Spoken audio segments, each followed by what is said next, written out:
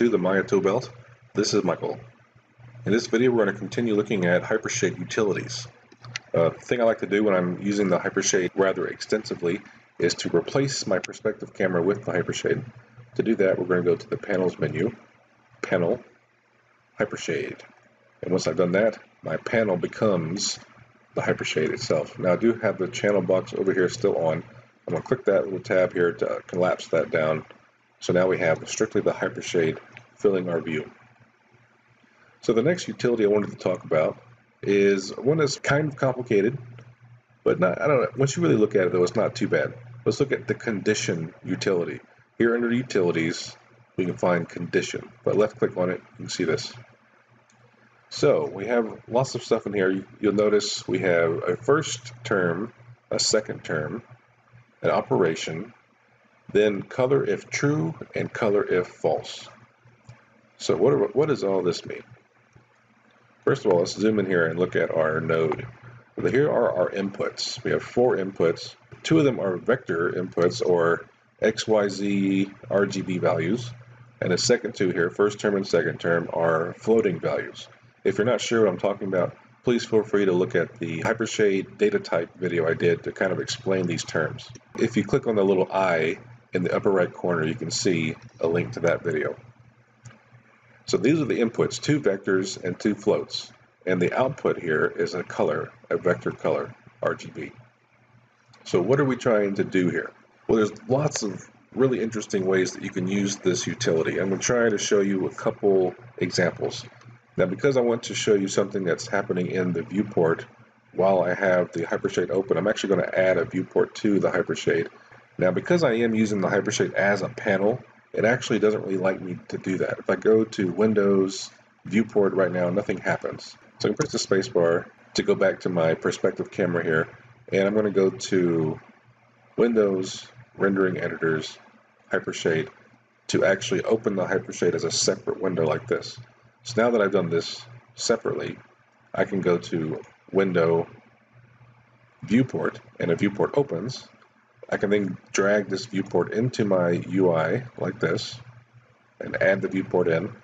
I can then close the hypershade and go back to panels, panel, hypershade, reactivate this as my hypershade and there is my viewport now.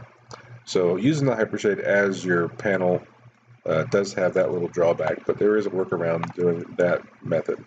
So now I have a viewport here, I have a little window right here into my scene built inside of my hypershade. So I can start to use this. So, so looking at the condition utility, we have here a first term and a second term, two values, and then an operation. The operation will compare these two values and ask a question. If we click on the pull down menu, we have all these different uh, operations we can choose from. Equal, they're not equal, greater than, greater or equal, less than, less or equal, these things here are comparing our two values together in different ways. So let's just keep it at equal for now. So with equal, the operation is asking, is the first term equal to the second term? Is that true or false? If it is true, then it looks to the true result, color if true.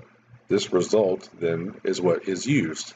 If the operation looks at the two terms and asks, are these two terms equal, and the answer is false, then the color if false vector value is used instead of the true one. So that's hopefully makes a little bit of sense of what how this works. Now, how is this useful? That's the big question. Like, what do we do with this? So there's lots of ways to, to use this, and it's hard to really explain it in a really good way, but let, let me just explain it in a little bit, bit of a visual way. So I'm going to create a plane. I'm going to create polygon primitives plane like this. Press the 5 key here to see it. And then I'm going to hide the grid and create a sphere. So create polygon primitives sphere. Okay, I'm going to apply a material to my sphere. So I'm going to right click and say assign a, a new material. We'll just use a Lambert zoom out a little bit here. So we have our condition here, and then Lambert. So what are we going to ask? Let's say we have the sphere, if it is above the plane, it's one color. If it's below the plane, it's a different color. So we're looking at the translate y value of the sphere. Okay, so looking at our condition here, our first term is going to be the y value of the sphere. That's the, the uh, value we're going to be looking at, the translate y of the sphere. The second term we're going to say is 0 because this plane is at a 0 y value. It's right. It, this plane is situated on the grid, so the plane itself is situated at a, a translate y value of 0. We're going to say is the first term, the sphere's translate y value, is it greater than 0? If that's true, then we're going to use the true color. If it's not true, the translate y value is below 0 because it's be a negative y-axis down here. That would be false. So then we would use the color that is false. Okay, so set that up. First of all, let's move my sphere up here and look at the condition. So first of all, the out color of this condition needs to go to the color of the Lambert. So we're connecting the out color to the color of the Lambert, like so. So we don't have any color yet though. So let's make two textures. Let's go to our 2D textures and we'll just use some of the ones that Maya comes with. For example, let's use a mountain texture here, out color into the color if, let's say color if false. So if the sphere goes below the plane, it's going to use this mountain texture. Otherwise, if it's above the plane, we should see, let's just say a ramp. So we have this ramp texture. We'll connect the out color of this to the color if true. Okay, so here we have a mountain texture and a ramp texture. The mountain's out color has been connected to the color if false value. So when if when the condition that is being asked for is returns a false answer, it will use the mountain texture. Then we have a ramp texture that has the out color applied to the color if true. So if the conditions question returns a true answer, it will use the ramp color. And just to make this a little more interesting, instead of using a black and white gradient, let's just change these colors a little bit to something uh, more interesting, more colorful, trippy, uh, psychedelic colors going on here. So in my scene here, let me press the 6 key, and you can see that right now we're seeing the ramp. And if I move this sphere down, we still see the ramp. And that's because we haven't really done anything. If we look at our condition, it says first term is 0, second term is 0, operation equal. Well, 0 is equal to 0, so it's showing us the true color which is the ramp. But we can say, what if the first term was 1? Hit enter. Now you can see first term is 1, second term is 0. These are not equal, so the color is false. So it's giving us this mountain texture. So just by changing these two numbers, you can affect this texture in this way. So it's not like you have to apply some other mechanic to these two terms. Just by having the terms be numbers that you type in, you can affect how this condition is uh, answered. But we're going to use something that's more driven by the sphere's movement. So we want the sphere's translate y value to be fed into the first term of the condition. So how do we do that? That's something else entirely. In the hypershade, typically you will connect, you know, textures to materials to utilities and so on. But now I want to connect a movement attribute of the sphere to this condition. How do we do that? Well, we can use what's called the connection editor. So here in the Hypershade, if I go to Window, Connection Editor right here, this brings us the connection editor. So with this connection editor, we can actually connect almost anything to almost anything. Now we still have to follow the rules when it comes to a vector value to another vector value, a float value to another float value, those kinds of things. So data that are alike can be connected together in that way. So let me select the sphere and say reload left. So now my sphere's attributes, all these different things, there's a whole bunch of them here, have been loaded in on the left side. So now I'm going to select my condition node in my hypershade and say reload right. And here you can see everything that has to do with the condition node on the right. Now these two things you can see here, color if true and color if false are italics and kind of grayed out. These things have already had something else applied to them. And if you remember from our Hypershade overview video, which you can see if you click on the little eye in the upper right corner, you can only have one thing attached to these inputs at a time. So you can't say apply something else to the color if true, except it would, unless you want to take off what's currently there, okay? So what we actually want to look at are first term and second term right here. But what do we want to connect? So you see here we're going from to. So we're looking at it from the sphere to the condition. So clicking over here on the right side actually doesn't do anything. I have to click on the left side first. And you'll notice as I click on different things, different items over here will gray out or become available just based on the type of data that I'm selecting. Okay? Hold down control and you can deselect something.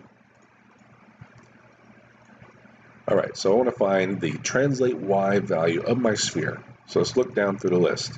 There's a ton of stuff in here. Let's keep on going, keep on going. Here we go, translate, right there. Now I want translate Y.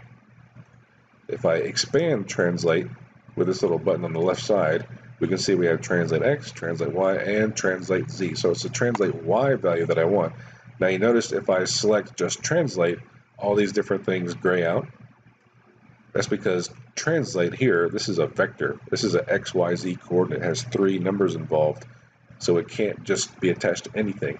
However, translate Y is a float value. It's a single number. It can be connected to lots of different things. So let's connect translate Y to the first term of our sphere. Okay, so now over here in the condition nodes uh, property editor, you can see the first term has been applied with a value. Let me open the channel box and select my sphere. You can see here the translate Y value is 3.048. I can close the connection editor now. So the, the sphere is 3.048 units up in the air. So if I look at my condition now, you can see my first term is 3.048. However, that's not the question we're asking ourselves. Right now it's set to equal. So it's asking is 3.048 equal to 0? No then return the mountain texture. That's why we see this. Let's change the question. Instead of it being equal to, let's say, is it greater than? Now, is the first term, the translate y value of the sphere, greater than 0? Yes. So now we're getting the ramp. So now let's move the sphere down. Right as I break that origin of the scene, it clicks and changes to mountain because that condition has become false. If I move it back up, it's a ramp. Move it back down, it's the mountain. Up, ramp, down, mountain. Just by moving the sphere back and forth, we can get those changes to happen. That's just one example of how you could use this condition node. There are other ways you can use the condition node as well. Uh, there's more ways than I can even really show you, but I'm going to try and show you one more way that's a bit more out of the box. So the condition node can be used for things other than materials. You can use them for almost anything really. So here I have two cubes. So again, I'm going to use positional data uh, with our condition node instead of materials. So what I want to have happen is whenever this cube rotates to the left, this cube will also rotate to the left. However, when it rotates to the right, this cube will not. Okay, let's try and see if we can make that happen. So the rotation x of both these cubes is what we're going to be dealing with. And when it comes to a vector value of x, y, z, that's a, the equivalent of RGB. So even though these things are saying color if true, color if false, it can still take vector information such as the x value. Just understand that the x value would go into this first number. This is the x slot or the R. So red R X axis is also red. That's just how you can kind of think of it. So these are RGB for colors, but also they can be considered X, Y, and Z for positional data. Okay. So again, I'm going to use my connection editor. So I'm going to have my cube selected. I go to Window Connection Editor here. Since I have the cube already selected, it's already loaded on the left. Select my condition, reload right. So now I'm looking for rotate X. So scroll down through here, looking for rotate, expand this open and click on rotate X. So rotate X can be our first term, okay? And also, if color, so if it's greater than zero, it will equal the color if true. So we want to open up color if true and connect it to color if true R. So what we're doing is the rotate X value is our first term and the same value will be the X value for the color if true. X, Y, Z, don't forget. We don't have to connect Y or Z. We're only looking at the X right now, but we have to make sure we connect it to the right one. We have to connect to the, the quote-unquote R value, just to keep it straight. Okay, so rotate X on this first cube. So the second cube, reload right, and then our condition should reload left. Now, right here it says color if false, and there's a 1 value here by default. We want to make sure we change that to 0, because if we don't, then the color if false will be a 1, and you'll see the cube kind of, this cube rotate to a 1 unit in the X instead of 0. So we want to say the out color R, or X, is being plugged into the rotate X of the cube like this. So you see we get this kind of unit conversion thing. First term, the rotation of this cube. We'll rotate it. So you see I rotated a little bit over here. 41 point, let's just say I rotated 50 degrees. 50 and enter. And now this cube is also 50 degrees. If I rotate it back here and then past the zero point, so now it's negative, you notice this cube is at zero. So using this condition node, we can get something like this, where this cube rotates positive, the rotation is greater than zero, then this cube will also rotate the same. However, if we go back and it's negative, the cube, the second cube stops matching the rotation of the first. So that's using, again, a condition node. And I'm sure you guys can come up with lots of different ways of using this. It's also used quite extensively in, say, rigging, for example. But yeah, the condition node is pretty cool. I mean, there's, like I said, there's lots of different applications for this. The mind kind of uh, wonders, like, what else can I use this for? Because there's so many things you can uh, try to do with it. But in any case, I hope you enjoyed this video and learning a little bit about the condition utility node in Maya. Thanks again for watching, and I'll talk to you later.